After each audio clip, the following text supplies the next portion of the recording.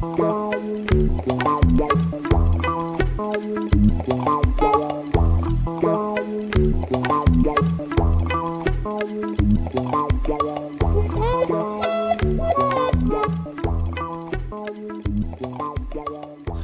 well, thank you very much for being here this early in the morning, and it's a pleasure to be here again. Uh, so, what I'm going to talk about is project evaluation and uncertainty. This is a subject that um, has been around for a while, uh, mostly within the business community. But for the last few years, actually, there has been a lot of interest uh, on the mathematical aspects of such uh, topics.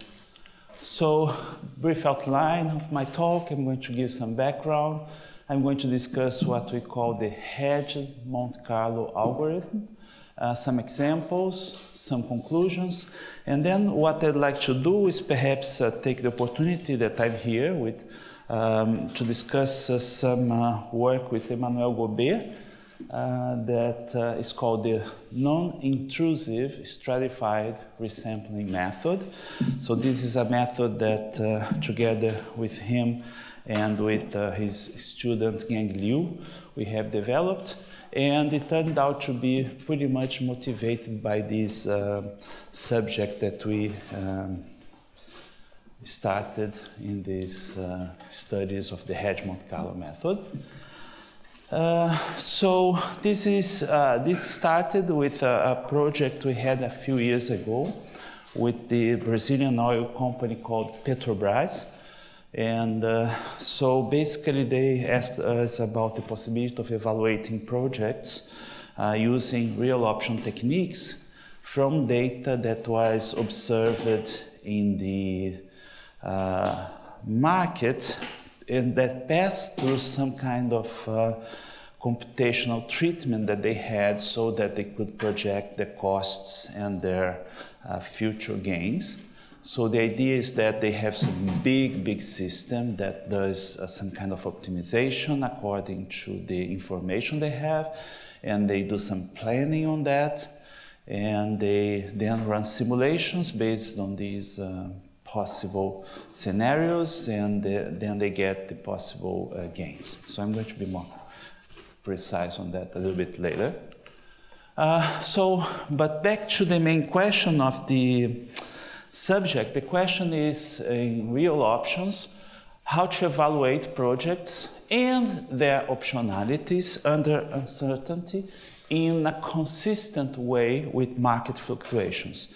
And what I mean by market fluctuations is many times you want you are in a business, in a company, and you are trying to, uh, for one side, decide about some investments of your company. On the other side, you have a trading desk that has to uh, make investments, has to uh, perhaps sell or buy calls, puts, and uh, forwards and contracts like that. And uh, oftentimes, uh, such investments are so big that uh, they have to ta- be taken into account when you evaluate your project. So you have some kind of hedging, and uh, you have also the uh, general aspects of your investment. So, for example, this is, for example, building a real estate development and how you kind of hedge that towards uh, with, with uh, instruments from the market. So this is more or less the general question. So let me give you a brief uh, outline of this field that's called real options. This is paradise for people who study BSDEs, stochastic control, dynamic programming. That means you, Stefan. Okay, uh, so in real options, we are interested in assigning monetary values to strategic decisions, such as create a firm, invest in a new project, start a real estate development, finance some kind of research and development project, temporarily suspend operations, and some people go even further, starting a PhD program, getting married, or something like that but I didn't list that in my possible serious applications. So uh, usually there are complex claims, uh, barrier clauses, exotic character of such uh, optionalities. Uh, there are also cash flows in decision trees, optimal exercise times, and a mix of historical and risk neutral measures. So this is the kind of main issue here, actually, that was behind our discussions. So how to, in a simple way, balance this um, historical information, historical data, with the risk neutral measure. Uh, a little bit of background on the field. Um, well, everybody knows the original paper of Black-Scholes. In fact, in the Black-Scholes paper already there is a mention about warranties. If you look carefully, there's kind of thinking a little bit on this real option uh, uh, direction. Uh, there's a famous paper by Myers from 77. Uh, there was a Brazilian guy at Berkeley doing his PhD thesis that worked on this uh, value of uh, natural resources. McDonald and Siegel wrote a very influential paper, and the, the field bloomed. So there are lots of things actually. This is a very, very broad field. And there is a famous book by Pindyck.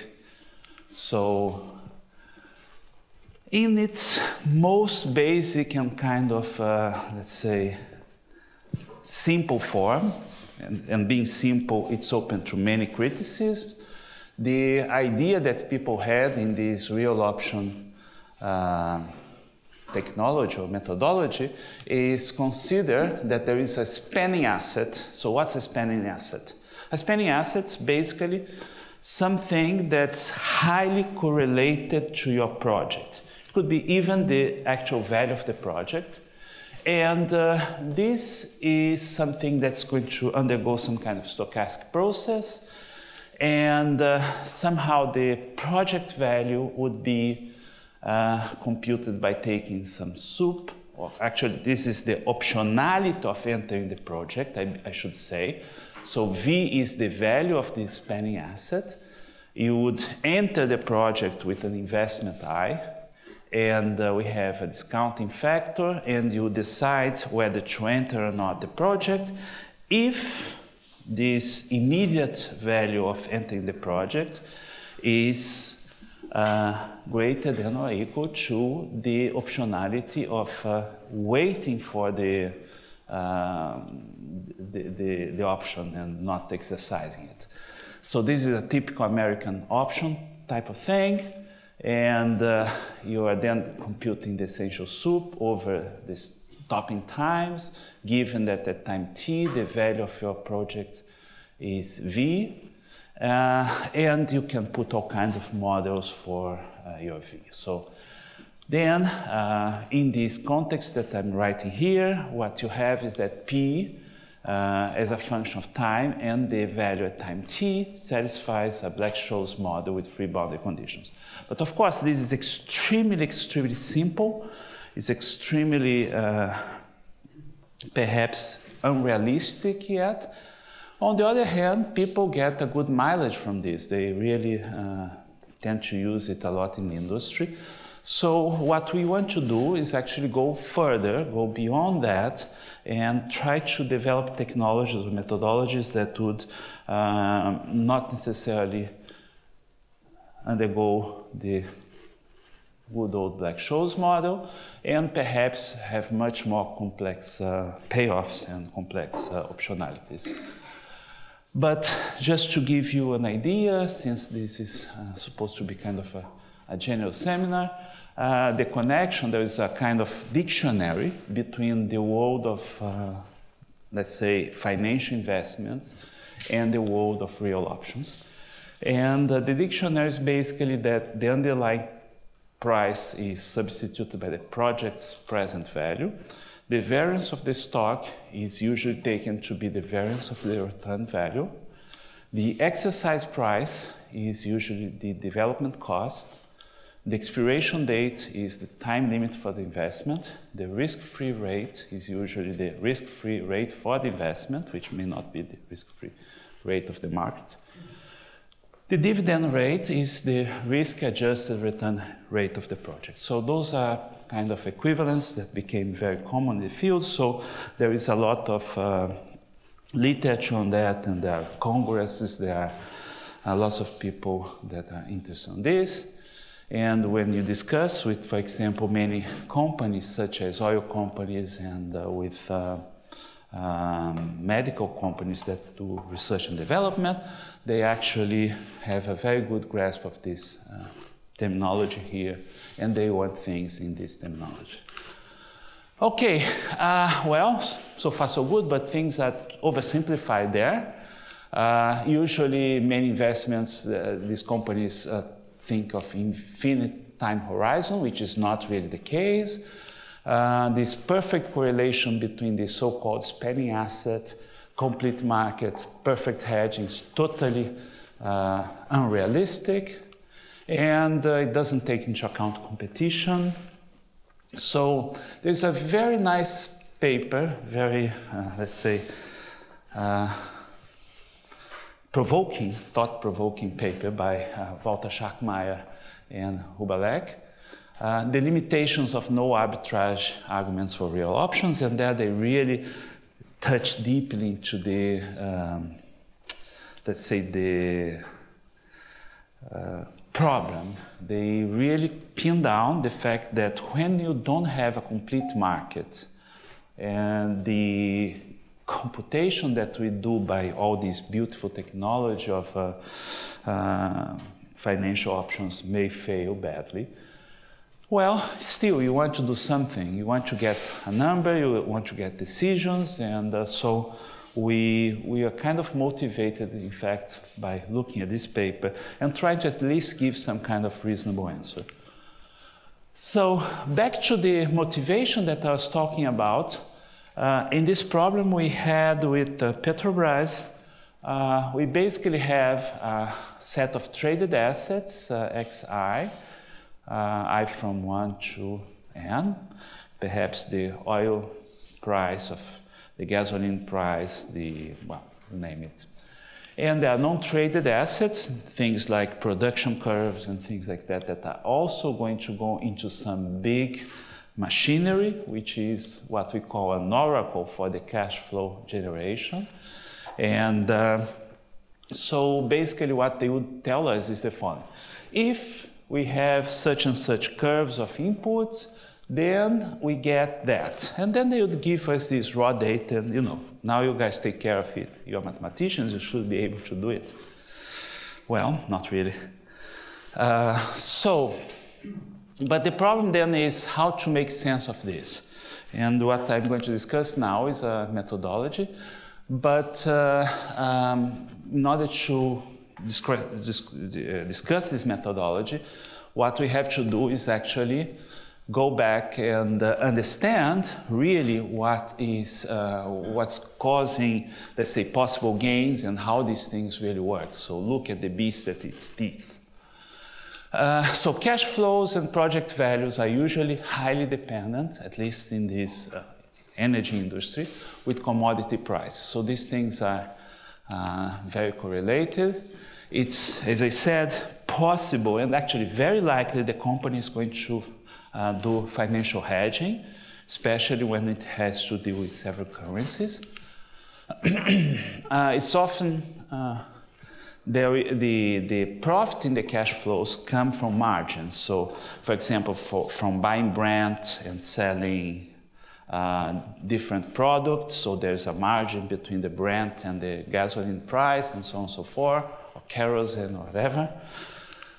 Uh, usually for evaluating these projects, this Oracle that I just mentioned, which is this big system, uh, is adjusted to run with and without a project. So the typical question they would ask us is, is it worth or not to start a refinery? Is it worth or not to uh, expand on a refinery? Okay? Uh, and what they would pro produce is then a set of simulations with the actual values with the refinery and without the refinery. And the difference of such cash flows then would be uh, basically the output. So they would give us perhaps the difference only, or perhaps both the actual refinery and with and without refining prices. Uh, the evaluations of the cash flow come from that come from this oracle are usually very time consuming. So they have usually to put a big computer working for several days to produce such simulations. And the reason for that is because usually the cash flows are based on optimizing the full network of the company. So, for example, if you start a refinery in one place, then you need to decide how you're going to carry things out of that refinery, and that, on the other hand, brings in a, bunch of different optimization problems. And so these things are time consuming, so we have to use as little information as possible. And of course, in any investment, there are windows of opportunity. You know, sometimes you miss the opportunity, and that's it. Uh, as I said, there are complex optionalities. So all those issues, all those, all those, motivations are the ones that are motivating our, our questions here and our approach. So we, what I'm going to discuss now is perhaps a methodology, which is just a, a proposal, and uh, it's uh, something that we uh, proposed uh, as a way of uh, evaluating such optionalities in a simple but not too simple way. Uh, this appeared in this uh, special volume of the Commodities, Energy and Environmental Science at the Fields Institute uh, back in 2015. Looks like yesterday, but time flies. Uh, the challenge, as I, the challenges, as I said, is most of the simulations come from historical measures. We have managerial views that need to be incorporated. There is market incompleteness, unhedgeable risks, multiple assets. So the problem is not really simple. Uh, there are lots of uh, people who have worked on this. Uh, there's a classical method, there are Monte Carlo based approaches. Uh, my friend Jaimungal and Lawryshyn, my friends Jaimungal and Lawryshyn came up with an interesting method as well. So there are different approaches, but I don't have really time to go into that.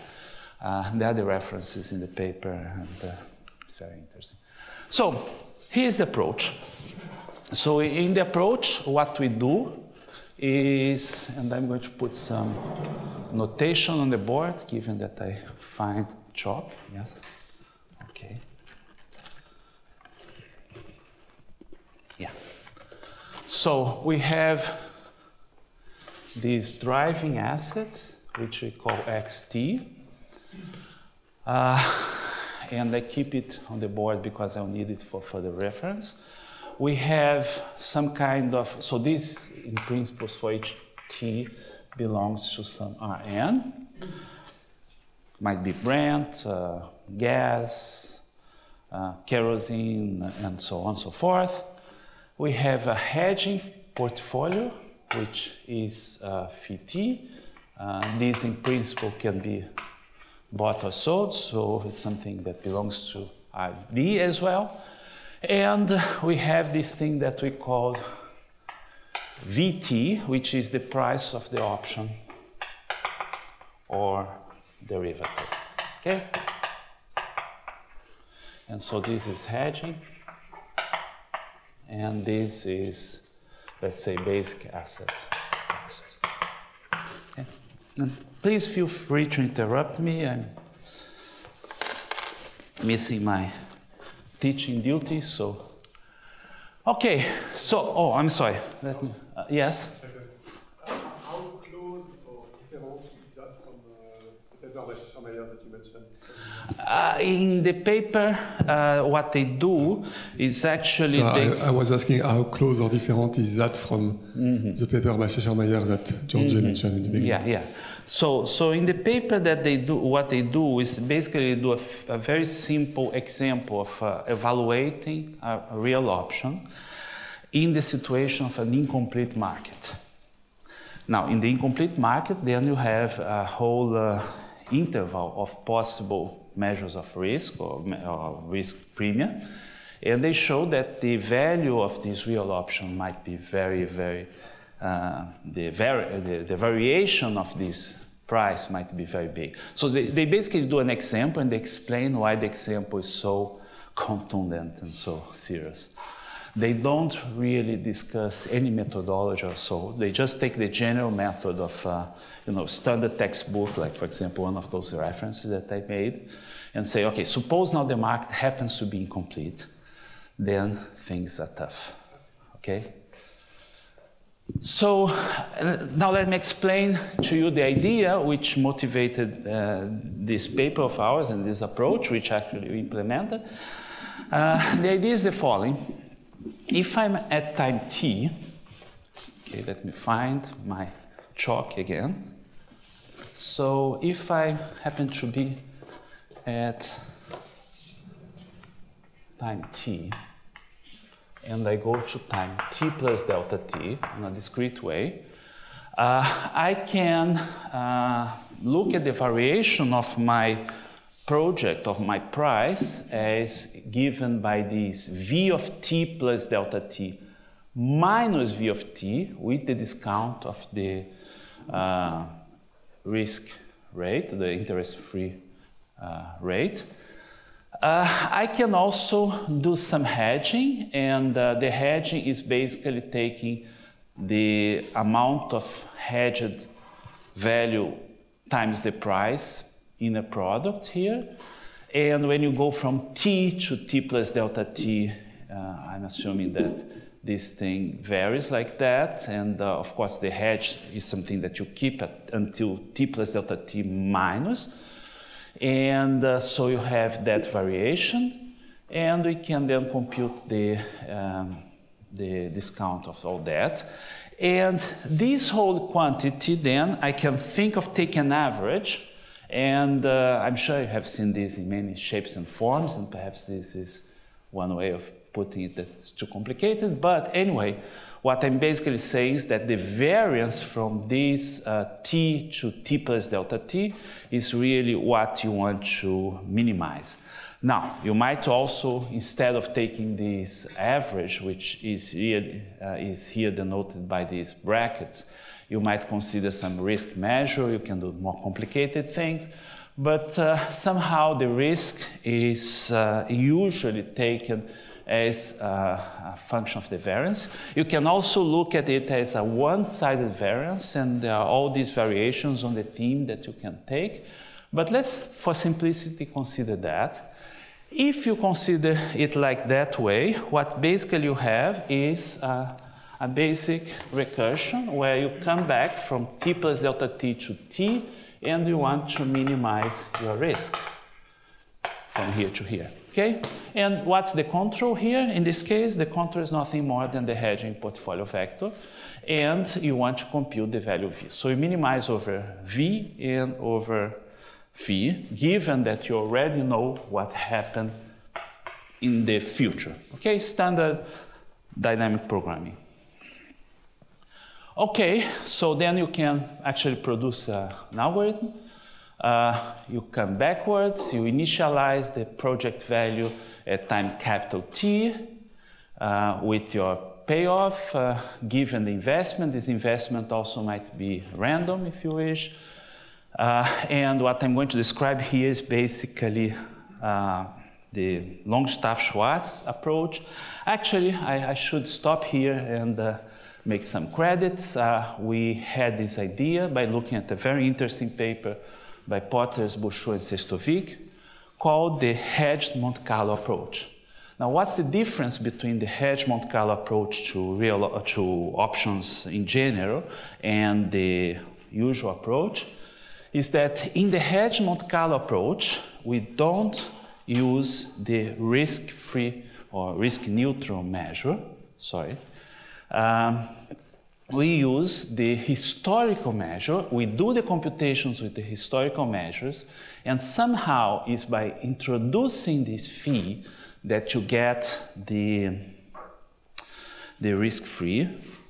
The phi here is again the hedging portfolio. So if we're in the situation of uh, the risk-neutral measure, the red part would not be here, and you do just general backward regression, and uh, you would be basically doing Mont, um, some Monte Carlo method in the spirit of Longstaff-Schwartz. Here, what we are doing is we're introducing that control and we are minimizing both on phi and on v. Uh, I, uh, I'm going to describe now the algorithm.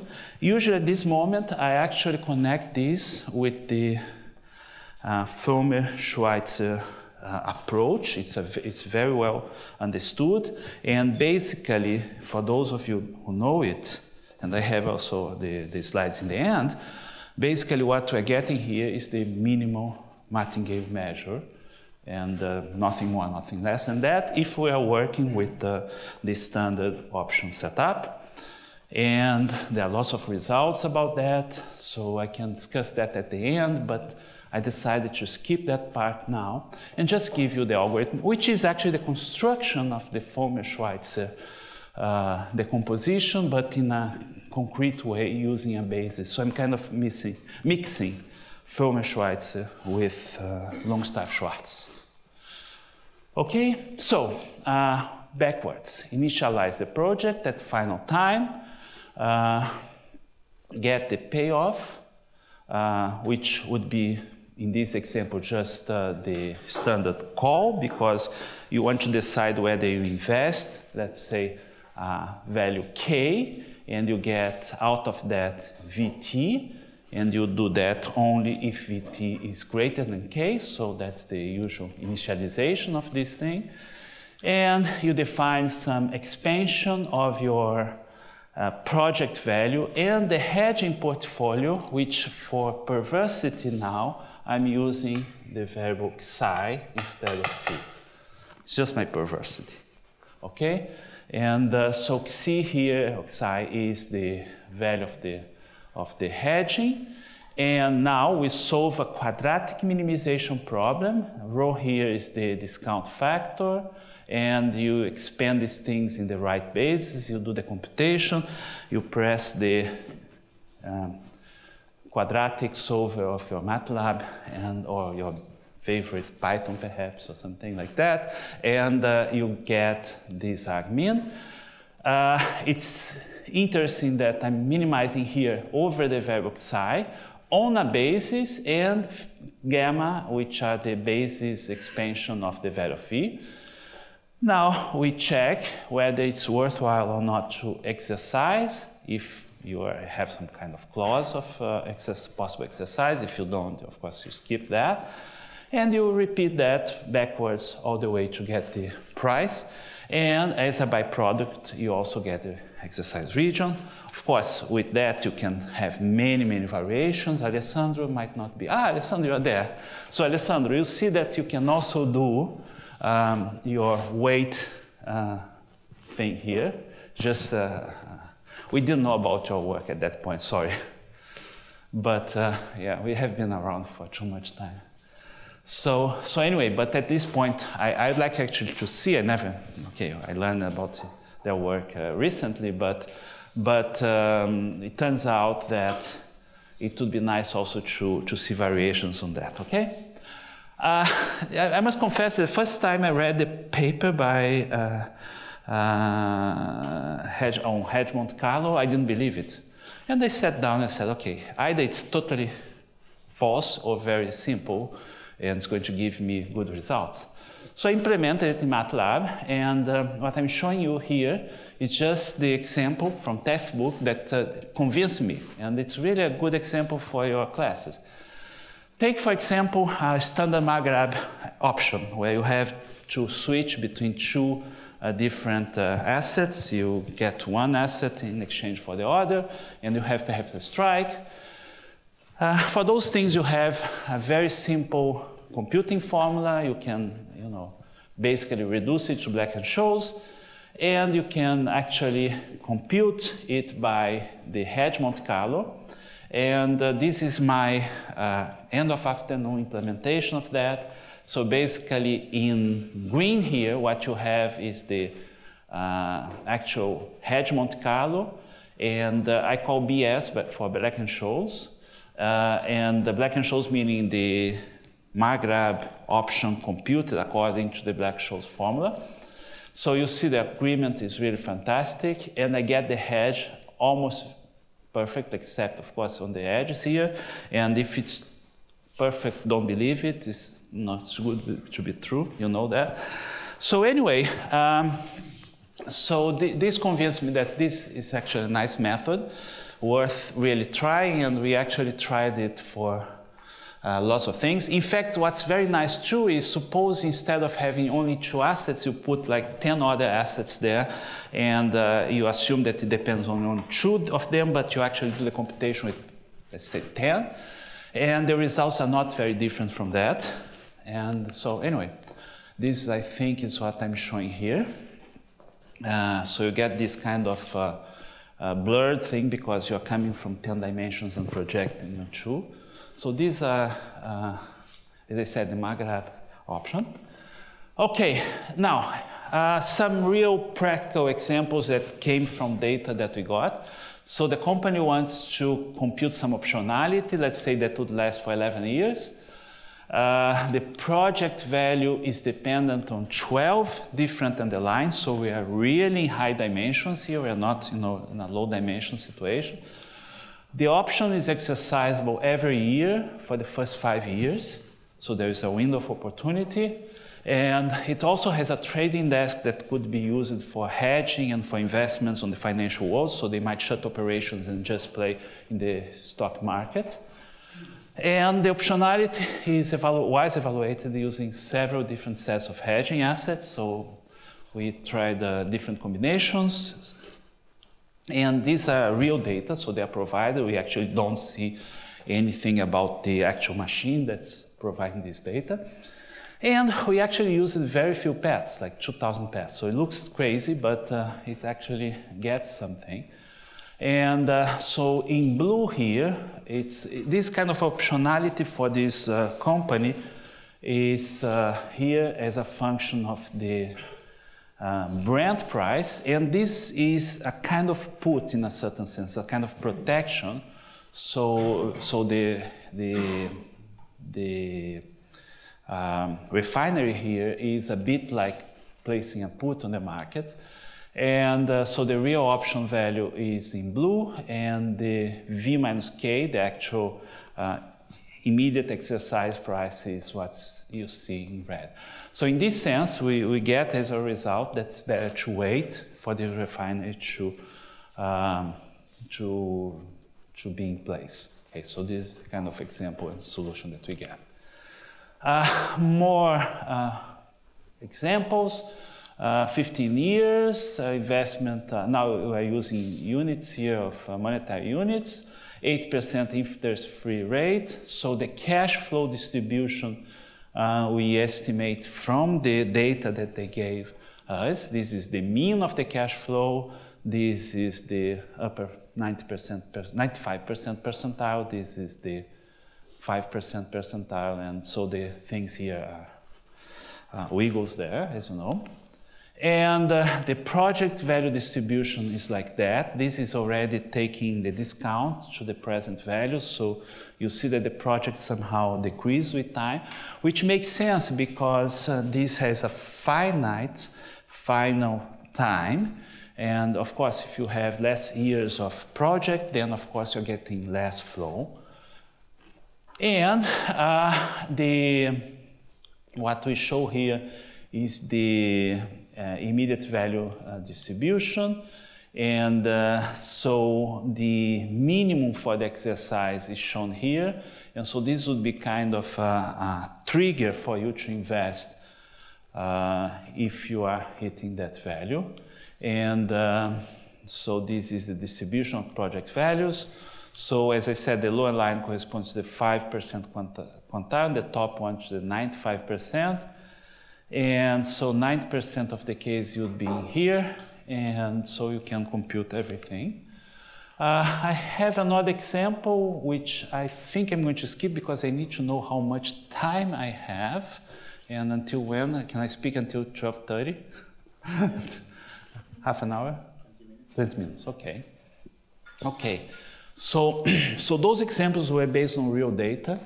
But we decided, okay, since we don't have uh, control over this real data, let's run lots of examples with these codes that we prepared.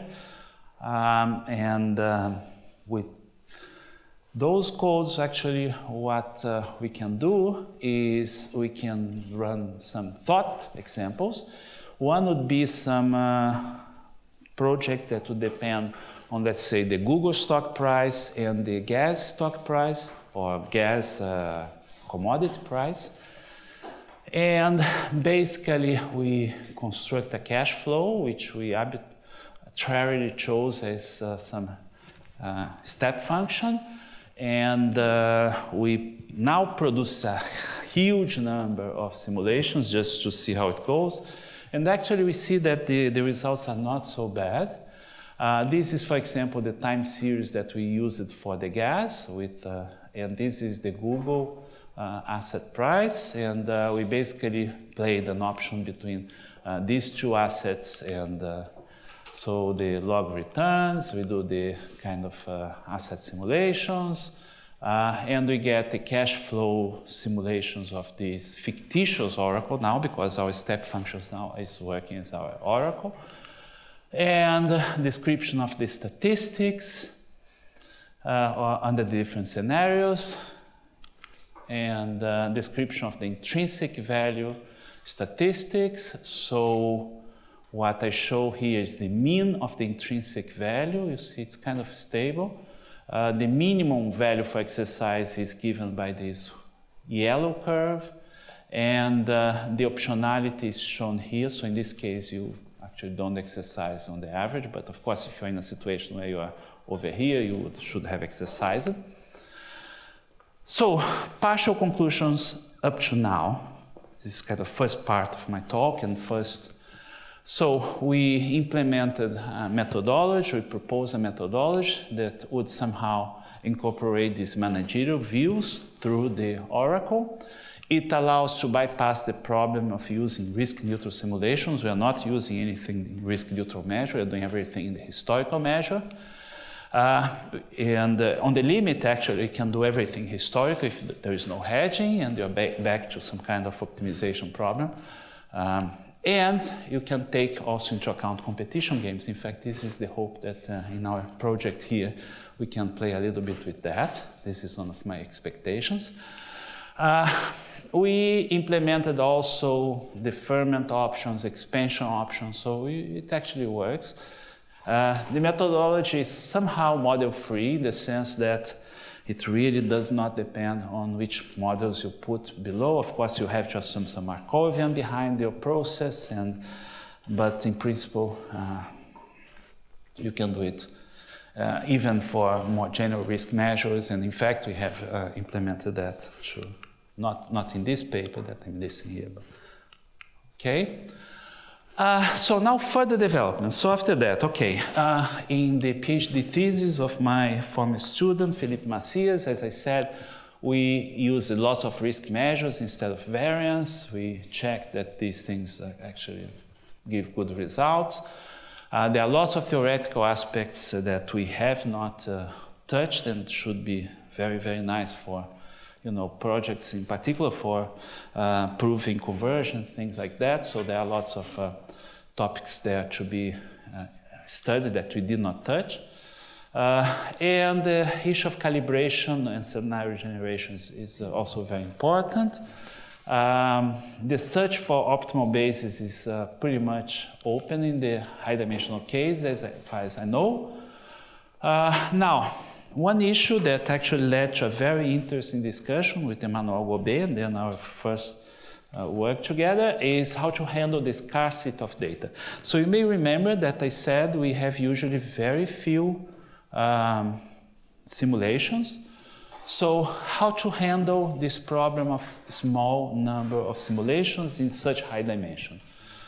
Uh, so uh, what we did is we developed what we call the non-intrusive Monte Carlo methods. And what is that?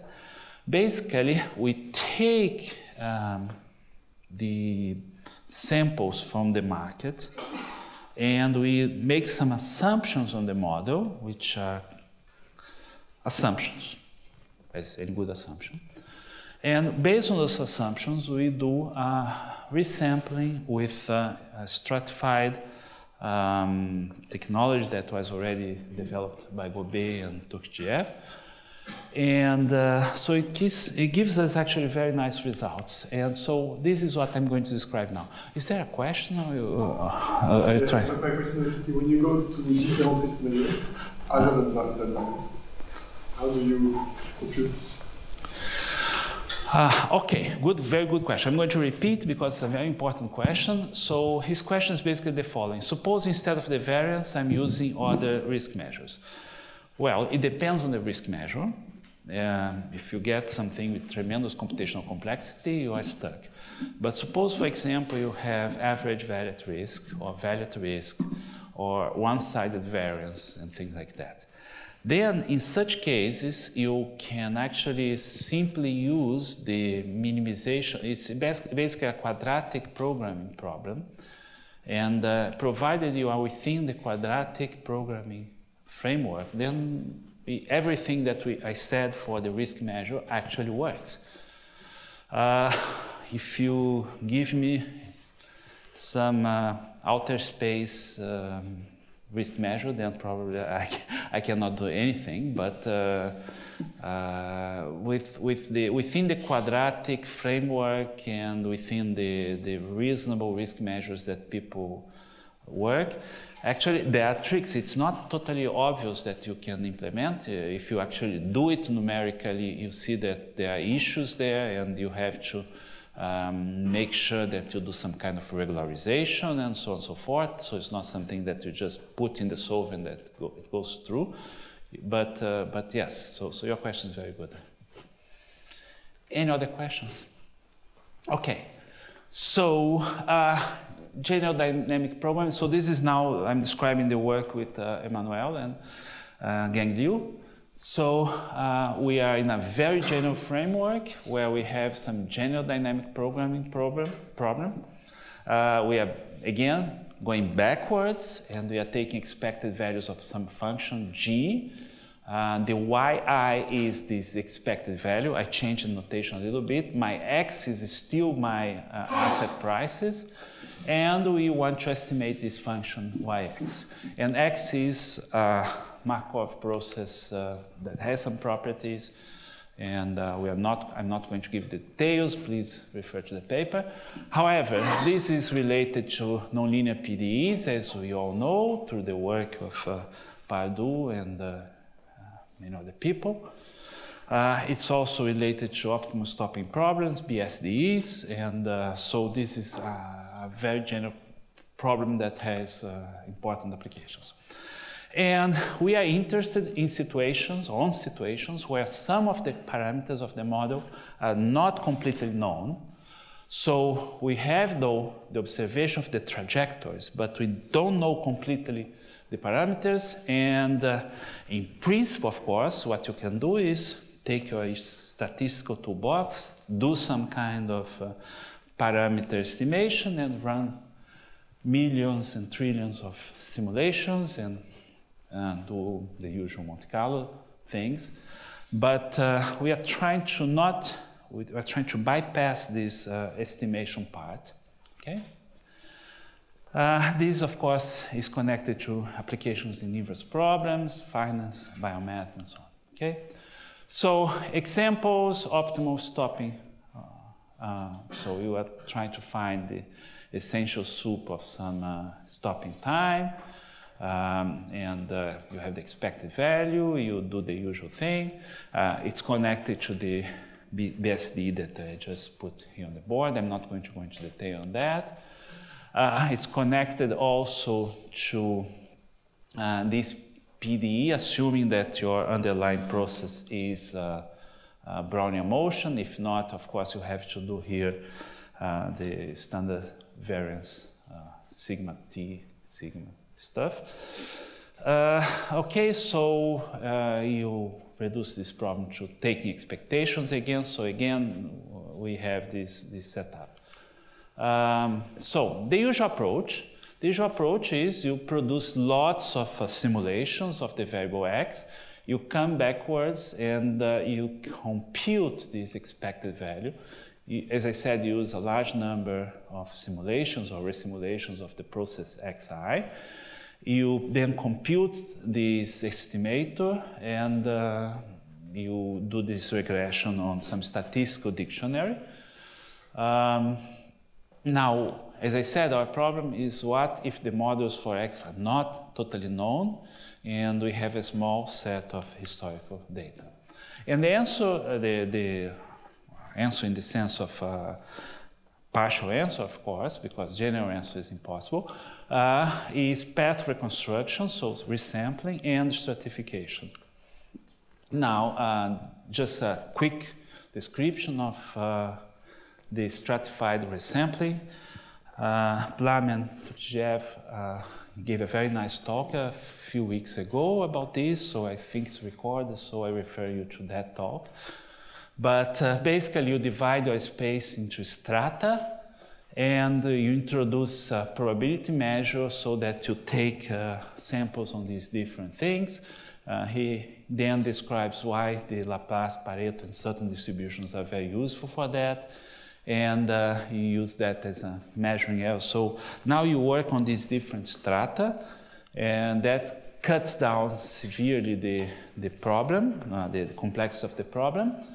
And uh, now we use the observations of, uh, that we had, and now we make our assumptions, which is actually specific here we can somehow extract from the data the noise, and we can do such noise extraction uh, by means of certain functions that we know, and I'll give you in a few seconds examples on that.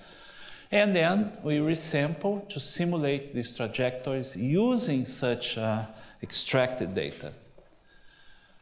Uh, note that to apply this technology, you need less information than the full detail of the underlying model. We are just using uh, a mix of information about the model and the data that you have, okay? Examples. So let me give you a concrete example to fix the ideas. And of course, you start with the most simple example. Suppose you have uh, some kind of usual Gaussian process x0 plus integral from 0 to t of mu s ds plus integral from 0 to t of sigma s dws. We uh, then consider these uh, increments from, let's say, I'm, I'm, using a little bit of uh, abuse of notation here. So from time i to time i plus 1. You look at that, and basically the function theta that I was talking about to reproduce from the noise your paths is just uh, this function here. So from that function, I can actually generate my paths. I can actually, if I had lots of u's, uh, regenerate that. Now, if I know that my U is coming from Brownian motion, I have lots of symmetries, and I can resample my path space from the, from the data. So we can actually resample it in different parts of the space using this strata, and that's a way of doing it. Well, if you know how to handle arithmetic Brownian motion, you should know how to handle geometric Brownian motion, and that's what we show here. Same story, instead of working with the differences, xi plus 1 minus xi, we take log differences. And to a certain extent, we also can handle Ornstein-Uhlenbeck. Uh, in the case of matrix Ornstein-Uhlenbeck, we actually have to know the matrix A. But that's all we need to know, and that's all we need to do this resampling. So the basic idea, I, I like this pictorial uh, description, especially because I, it was very hard to draw it with uh, my software, my software in the sense the, my available software. So suppose you have uh, some actual observed samples. So here is, for example, some process, another process here that you observed. So this is real data. What we are doing now is using the data through the function theta that we assume we have within our model to resample other parts of the space. And with that, we get more information about the full space, and therefore we get a, a stable result. By the way, these are all uh, proved results. The, the, uh, estimates, the true estimates with the assumption and so on. I'm just giving you the idea. Uh, in the process, of course, you use ordinary least squares, but you can use other methodologies in principle. Um, so we basically project on a basis given by certain dictionary. We have our samples, we have our function, and we apply the ordinary mean square, least squares. Uh, and uh, so uh, basically, uh, this is the resampling method. We go backwards. We suppose, as I said, that we have an estimation from yi plus 1 to yi in each strata. We sample these according to our law nu k. k here is the index of the strata. We construct the sample paths. We do the ordinary square. We may have to do some thresholding for stability and for technical reasons. And we get a good estimate for a problem. So um, the final algorithm is then take the sample IID starting points, we reconstruct the learning paths, we compute the ordinary squares, we do the thresholding, and uh, we get an estimation of our value yi, which in turn is the solution of your um, dynamic programming problem. The cost is n square mk.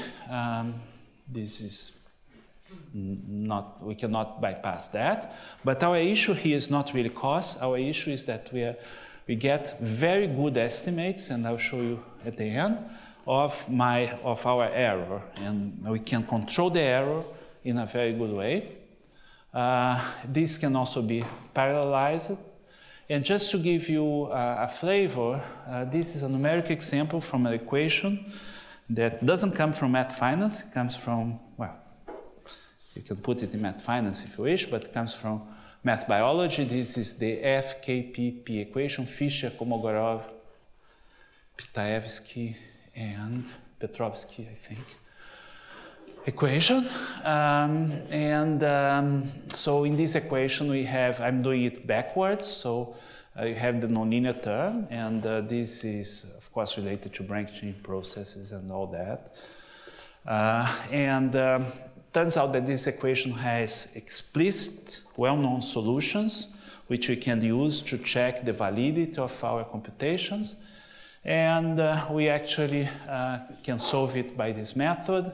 So here on the left, what I'm showing to you is a total of 400 um, simulations in R2 that were used as root paths.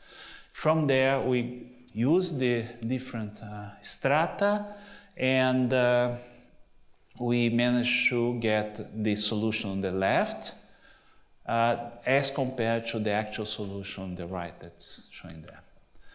And uh, just to answer the issue about uh, error, so the quadratic error on each y, i, is part of an approximation error plus a statistical error plus independence error.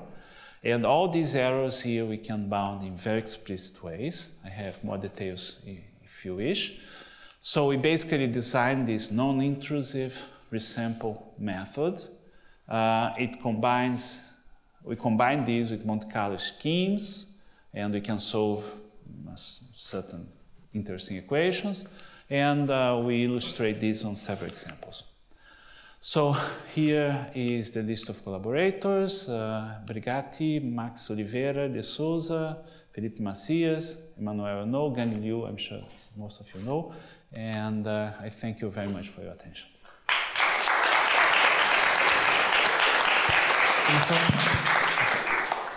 Okay, thank you, George, for your nice talk. So, are there any more questions?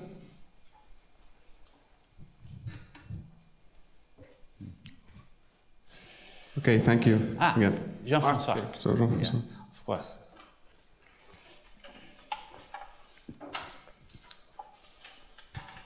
Thank you. So could you go, go back to your uh, thetas, the thetas that so you gave some example. Uh-huh. Yes, yes. do, do you have?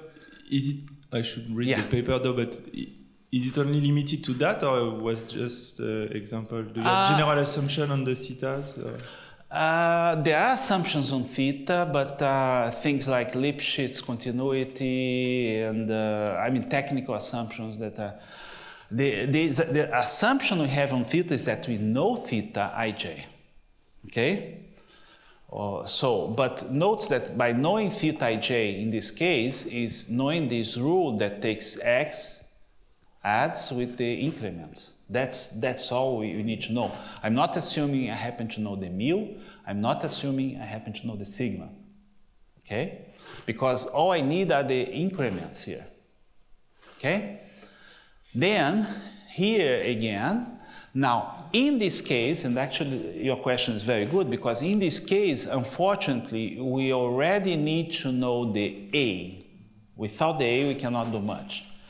And of course, if you get more complicated models, you might need to know more parameters. But you know, at least uh, we reduced our. Uh, so what we, do, we don't need to know, for example, we don't need- to know the correlation matrix, which already is, is a good help. But of course, the mean reversion rate, unfortunately, in this case, we need to know. Yeah. And if you go to more complicated models, uh, we, we, we can actually add jumps here too. So this is uh, another possibility. So, so there are things that we can do, there are things that we cannot do. But your question is very well taken. It's actually a question that uh, many people ask when we show the method. And uh, yeah, there's limitations. Thank you. Uh, are there more questions? Okay, let us thank again our speaker. Thank you.